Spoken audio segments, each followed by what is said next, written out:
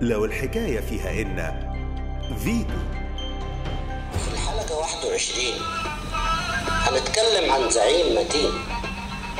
كان عضو في جماعة الإخوان بس كانوا بيعتبروه من المجددين.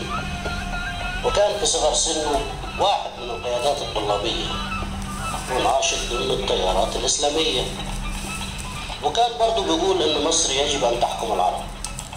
ولما كبر بقى أمين عام اتحاد الأطباء العرب. وبعد الثورة فضل البعض مع إنه عضو في مكتب الاشياء وأعلن ترشحه للرئاسة وكانت دي أحلى افتكاسة.